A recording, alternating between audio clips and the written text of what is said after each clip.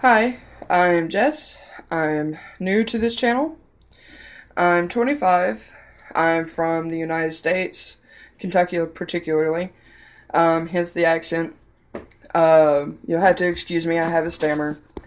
It's it's like that. Um, I am not only transgender, as you can tell in the background, I'm also a parent. You will hear her periodically throughout the video. Uh, I, I can't help it. um, anyways, so my story is a little different, my coming out story.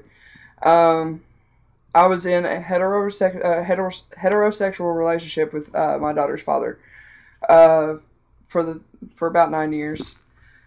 Um, we got married after, shortly after high school. Um, I was 15 when we had gotten together.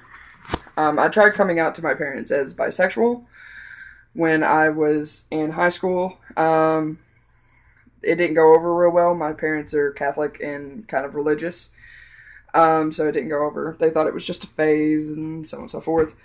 Um, anyways, after my daughter's father and I split up, uh, I started discovering a lot about myself. Um, I've always known that I, I didn't really get along with the girls too well. That I was more of a guy. That I hung out with guys more. That I played football instead of Barbies and so on and so forth. Um, so uh, I I sat and I thought a lot, and you know I I, I did some research, and the more I thought about it, the more I realized that I, I was never meant to be a girl. Um, so I I just uh, I came out to my parents as transgender as gay, and they were very loving and accepting. So was my sister, um, who is the polar opposite of me. she's she's extremely girly, whereas I am not. Um, but the one thing I hope to gain, other than being my true self, is I hope that my daughter sees that being different is okay. Um, I do constantly worry about my daughter, especially about her safety, especially when she goes to school.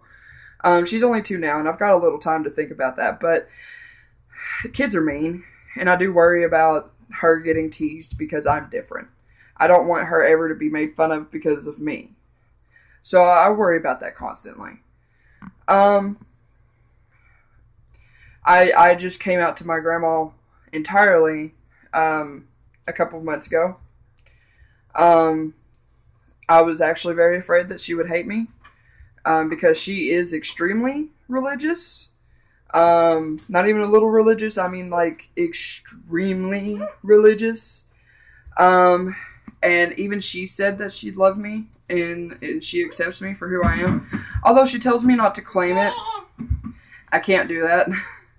she doesn't like the fact that I, I claim it. Um, but it, yeah, that was my biggest fear, and I actually conquered that, and I'm very proud of myself. Um, my my daughter is uh, my everything. She loves me unconditionally, which is great.